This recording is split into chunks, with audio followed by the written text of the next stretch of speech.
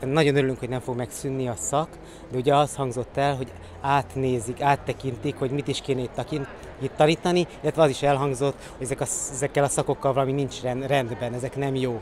És azt szeretnénk tudni első körben, hogy milyen anyagok alapján, milyen információk alapján hogy jutottak erre a megállapításra, és szeretnénk, ha bevonnának minket is abba a döntésbe, hogy hogyan is kellene átalakítani ezeket a szakokat, ezek nem a fejünk fölött történnének, hanem aktívan a mi részvételünkkel, és alapvetően transzparensé szeretnénk tenni a dolgot, tehát szeretnénk minden olyan szakmai anyagot, megkapni és látni, ami minket érint. Azt gondoljuk, hogy ezek nem lehetnek titkos anyagok, végül is semmilyen érzékeny kérdést ezek nem érintenek, ami miatt nem lehetne a közvélemény nyilvánosságára hozni azt, hogy milyen anyagok alapján döntöttek arról, hogy ez a szak felülvizsgálatra szorul az, hogy valami nemzetgazdaságilag fontos, például ez lehet egy cél, de ezt le kéne bontani, ez konkrétan mit jelent? Azt gondoljuk, hogy azt szeretnénk nyomatékosítani, egyfelől azt, hogy szeretnénk megkapni ezeket az információkat, hogy transzparens legyen a döntéshozatal, illetve mutassuk azt, hogy mi partnerei szeretnénk lenni mindenkinek, és szolidárisak vagyunk mindenkivel, azért is megyünk el a Raulhoz, hogy azt mutassuk, hogy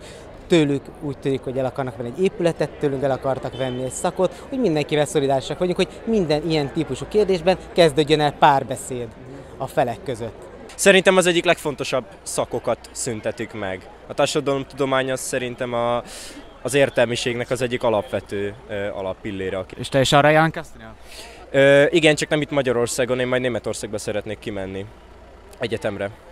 Tehát ez engem kevésbé érint, de hát másokért ki kell jönni, ha már mások nincsenek itt önmagukért, mert ugye elég kevesen vagyunk sajnos. Követeljük, Követeljük, hogy az Emberi Erőforrások Minisztériuma vonja vissza, hogy az Emberi Erőforrások Minisztériuma vonja vissza. A szakok megszüntetésére vonatkozó előterjesztését, a szakok megszüntetésére vonatkozó előterjesztését és a felsőoktatási törvény módosításának tervezetét. és a felsőoktatási törvény módosításának tervezetét. Az alaptörvénybe szűkös módon bele tuszkolt akadémiai szabadságból legalábbis annyi következik, hogy az egyetemek a képzés és kutatás tartalmát és módszerét illetően szabadságot élveznek. Az autonómia lelke pedig, akárhogy is nézzük, a szabad szakválasztás. Hol van itt szabad szakválasztás? Hol van itt szabadság, ahol a szakokról az egyetem feje fölött döntenek?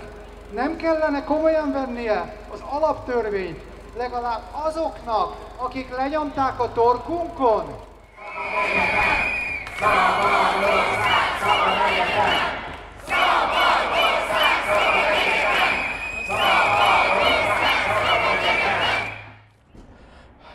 mi azért vagyunk itt, mert múlt hét, hétfőn teljes megdöbbenéssel olvastam az interneten, hogy megszűnik a, az iskola, hat részre szedik.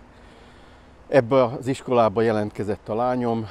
Ez egy, egy olyan döntés volt, amit a minisztérium részéről, ami embertelen, és a tanszabadságot sért, alapjogokat sért, szóval nem is értem. És ezért köszönöm minden diáknak, aki elindult az egy, ö, minisztériumtól, hogy szolidárisak a Raullal, hisz mindkettőjüké egyetemistáké, középiskolásoké a jövő,